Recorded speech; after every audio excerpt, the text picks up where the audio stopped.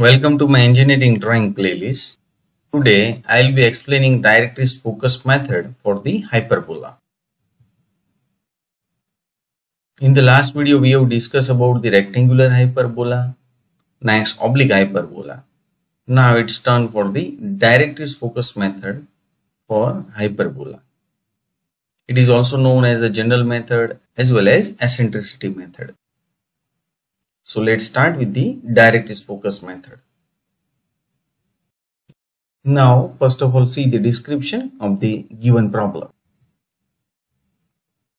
Draw an engineering curve by general method. And you know that general method that means directrix focus method. Take distance of focus from the directrix is equal to 50 mm with eccentricity 3 by 2. Give the name of the curve also draw normal and tangent at any point on the curve. So here basically three different objective. First you have to draw the engineering curve. Then you have to give the name of the curve and at last normal and tangent at any point on the curve. In the earlier video we have discussed about the directrix focus method in case of ellipse and parabola. So it is almost similar step that we have discussed. But you should keep in mind there are some few changes. So let's see. First of all, you have to draw the directrix line that is always vertical reference line. Give the name as AB. Next, randomly take any one point on this directrix line. Let's say it is C. Then draw the horizontal line which is passing through the C point but here the distance is given to you that your focus point is 50 mm from the directrix. So I am going to take the distance 50 mm from the directrix. So I can locate over here. This is the focus point that is denoted by F.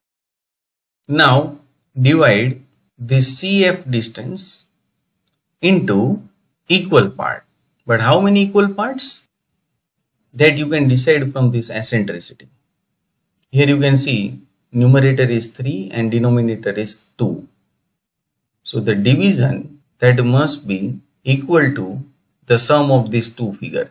That means 3 plus 2 is equal to 5. So you have to divide this distance into the 5 equal parts. So you can take 5 equal parts with the help of the scale easily by 10 mm each. Now mark the vertex point and that is always 3 division from the focus point towards the directrix. So always keep in mind that vertex point is always equal to the numerator division. So here you can see numerator is 3 so it must be 3 division from this focus point towards the directrix. So here you can see first, second and third division. So here your vertex point is there. So give the name as V. Now draw the vertical line passing through this vertex point. Take initially the random length. Now take the compass and set the radius that is exactly equal to VF. Draw the arc with V as the center and so that you will get the intersection point here. Mark it as E. So once again keep in mind here the radius is exactly equal to VF. Draw the arc with V as the center so that you will get the E point. Now join CE and extend it. Now draw the vertical line. It can be 3, 4 or 5 lines. But this line must be right side of this vertex point. And the distance between this line you can take randomly. But it should be very near to each other. Now you have to follow the same step that we have discussed in case of ellipse by directrix focus method as well as parabola by directrix focus method.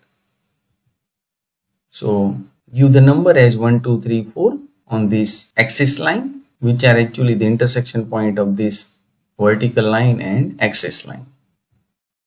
Give the corresponding point on this inclined line. So here you can see this is one number so it must be 1 dash. Similarly 2 so it must be 2 dash then 3 dash and 4 dash. Next is the very important point.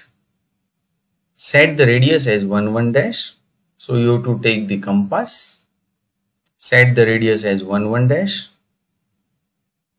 next draw an arc on 1 1 dash line so here you can see 1 1 dash line so you have to draw the arc on this 1 1 dash line but very important point with f as the center so here you have to take f as the center draw the arc on 1 1 dash line so here you can see 1 1 dash line so I have drawn the arc on this 1 1 dash line.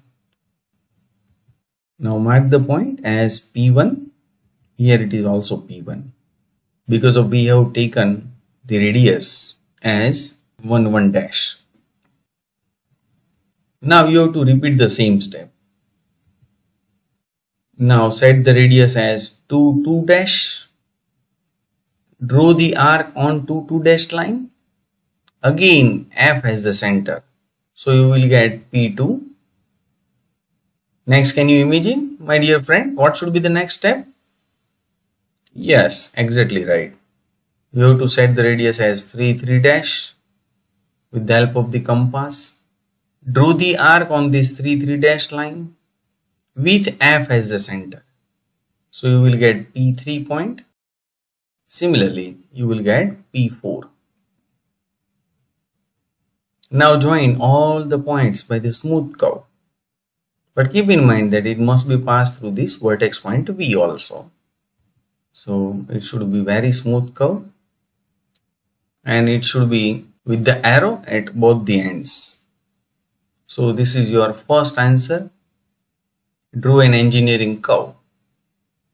Now give the name of the curve. Here you can see eccentricity is 3 by 2 that means it is greater than 1 and we have discussed in earlier video about the concept of eccentricity. Do you remember the concept of eccentricity?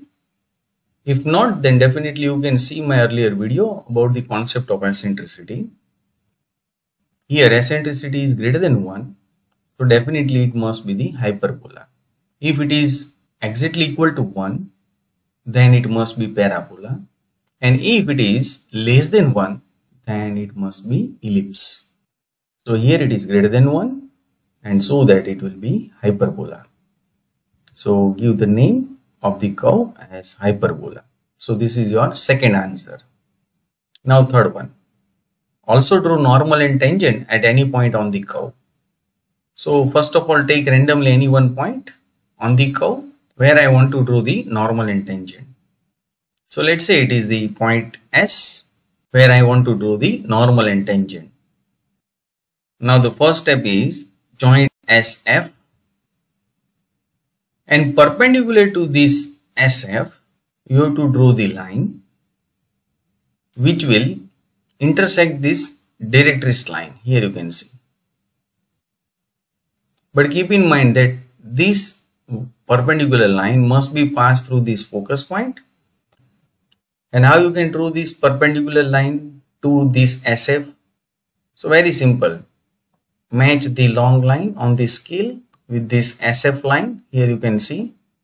So automatically you will get the perpendicular line to this SF now mark the point over here and give the name as T. Join TS and this will be your tangent. And tangent must be with the arrow on both sides now draw the perpendicular line to this tangent. And passing through this S that will give you the normal. And once again that you can do with the help of the scale.